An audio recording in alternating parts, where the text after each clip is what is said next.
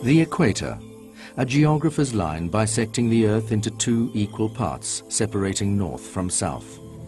It crosses the greatest stretch of primary rainforest, extends more than 20,000 nautical miles across open ocean, meeting the largest atoll and the widest river, the Amazon.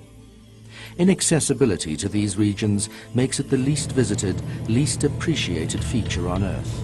But for at least one man, that is about to change. This is the story of the quest to circumnavigate the globe along that capricious line we call the equator in the only way possible, unmotorized. This is the story of Latitude Zero.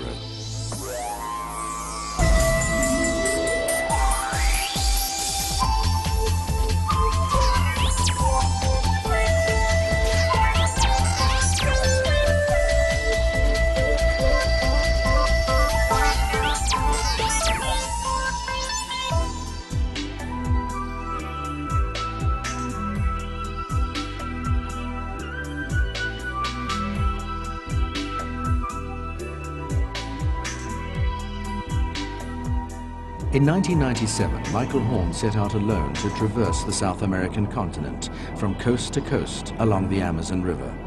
He succeeded. Many called him brave, crazy and wild, but now he has taken on what some are calling impossible. He is circumnavigating the globe at its most inhospitable point, using his own power.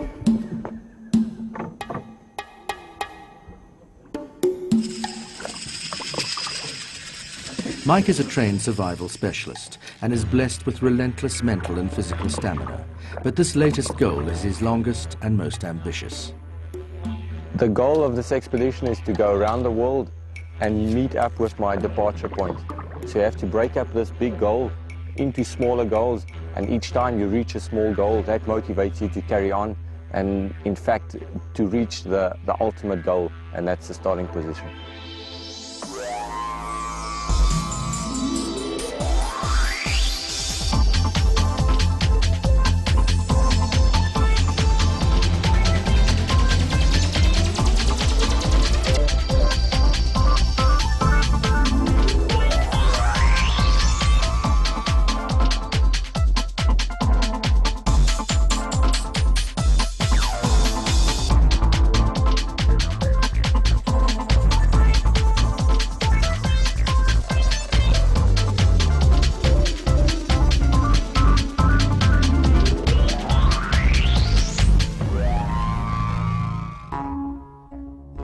Altitude along the equator varies between sea level and 5,000 meters.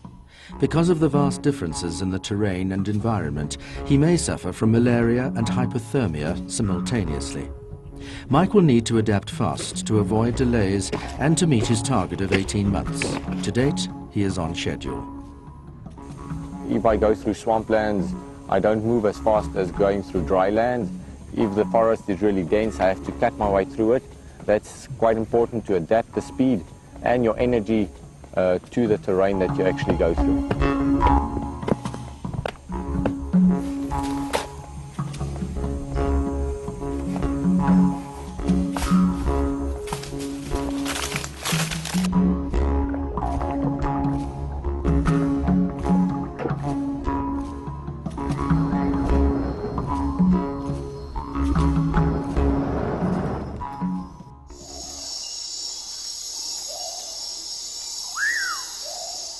There's not a lot of dry land. And then you want to sleep the night because you're a bit, bit tired and then put up your hammock in the trees above the water. But it doesn't work, so you have to sleep on the canoe. So you sleep on this canoe that's 80 centimeters wide or not even 80 centimeters wide, all curled up on this bench. And then you get the mosquitoes that come and they start eating you and you and then you get the rain that comes and the rain just You're busy sleeping, emptying your canoe at the same time. And you just, you, just mission for two hours and you say, no, well, you better start, start rowing again. I rowed quite a lot uh, at night. But the problem is at night you don't see the branches and they stick into your eyes and they stick into your face and it's a bit, bit, bit dangerous. But uh, I passed it. It's history. And now I'm eating luxuries. This is, this is luxuries. Mm.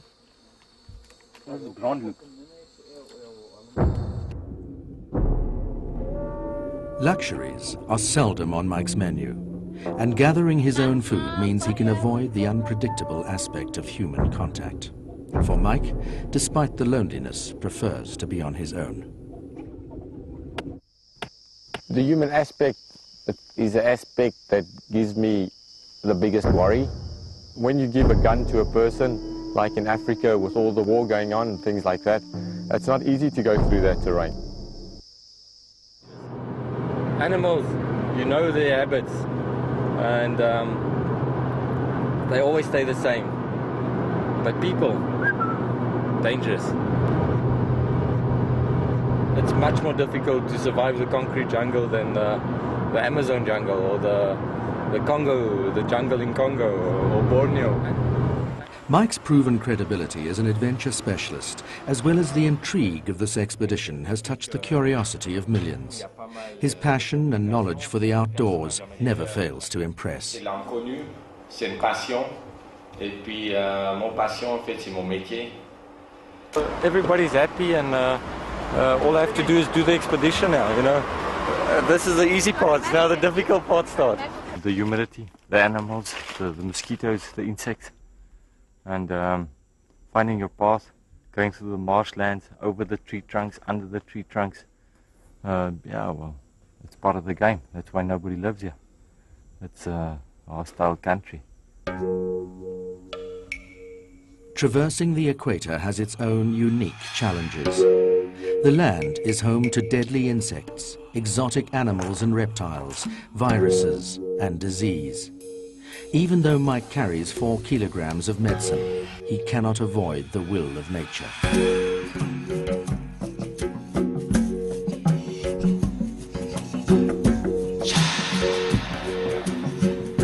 Among his load of survival equipment, Mike carries an Argos warning beacon encoded with a series of messages, a solar charger, a video camera, and a satellite phone. Even though I do carry a satellite phone and I'm in contact, uh, loneliness really gets to me because I can't see the people, I can't touch the people.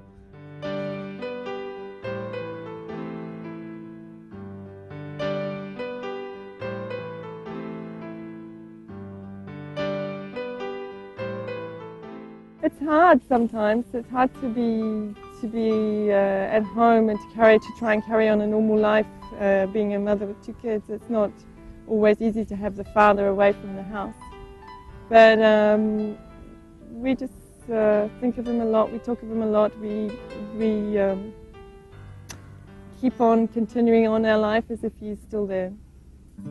Nothing demonstrates Mike Horn's physical and mental adaptability better than his record. Having travelled the full length of the Amazon River in 1997, he now crosses the world's three great oceans, solo. Crossing the Atlantic from Africa to Brazil was really an amazing experience. A lot of people said that I would have no wind, but fortunately I had good conditions and I crossed in a world record time of 19 days. Food is easy to catch. I do carry a lot of provisions on my boat and sailing is, is, is a lot of fun.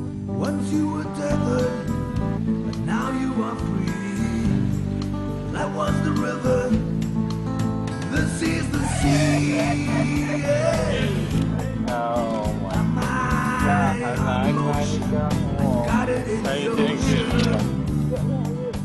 when I go down this wave and I see it start vibrating like this and then I reach the bottom of this hole and then and the water, you know, right in the front. And I'm sitting at the back holding this. There's a, then it shakes like this and through the bottom and back up. And then I see the next one coming and then it's ah. You can choose a, a narrow life or you can choose a, a broad life and uh, where a lot of things happen. I've, uh, I've actually chosen the broad life, although a lot of people say that I, I won't live long. All the experience that I accumulate every day actually helps me to, to make this broad life as long as possible. you have to have an objective to carry on, and the objective is to make it. And at the end, you don't want it to finish. Mike Horn's passionate adventures can be followed in a series of documentaries that began production in April 1999. Log on to his website on www.mikehorn.com to update his progress.